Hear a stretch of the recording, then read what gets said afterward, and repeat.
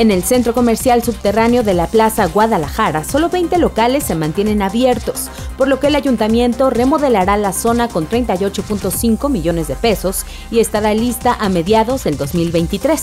Para renovar el centro comercial se tienen previstas obras que incluyen 158 locales y cuatro oficinas de instituciones públicas, con lo que se pretende aumentar 10 veces la afluencia del lugar, informó el regidor Luis Cisneros, quien impulsa esta iniciativa.